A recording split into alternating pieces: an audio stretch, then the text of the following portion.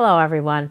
I'm Senator Jacky Rosen, and I'm honored that the Great Basin National Park Foundation has invited me to welcome you all to this year's board meeting.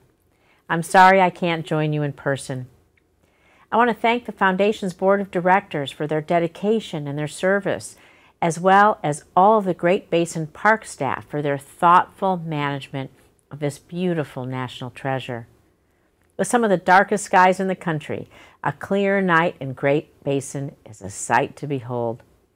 Because of your in, in initiative to build an observatory and efforts to protect the dark skies from light pollution, visitors from around the world have unprecedented access to observe the wonders of the night sky.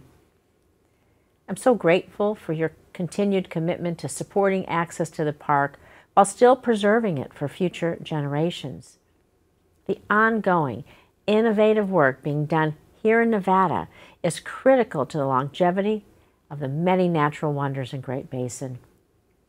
The efforts to preserve the unique ecosystem of the Great Basin by curbing non-native species is important and necessary work, and actions to maintain and restore natural plant communities is forward thinking. By supporting park programs that teach the importance of biodiversity, you are giving future generations the tools they need to ensure our planet stays healthy. All our national parks, they allow us to experience the majesty of nature, and supporting our national parks could not be more important. We all know that our climate is changing, and extreme weather events are an imminent threat to our national parks. I'm proud to advocate for the conservation of our public lands and national parks and support your ongoing efforts. That's why I helped introduce the Great American Outdoors Act, which was signed into law last year. That legislation built upon the Land and Water Conservation Fund, providing much needed funding for our national parks across the country. This funding will address the maintenance backlogs in our national parks, forests, refuges, recreation areas, and conservation areas. Still, there's more work to be done to encourage mindful visitation to national parks.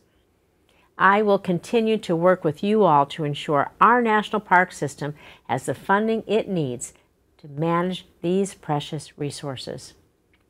Moving forward, I will continue to be a fierce defender of Nevada's public lands in Congress and support legislation that protects our country's natural beauty. Thank you, and I look forward to working alongside all of you to keep our national parks open to all for generations to come.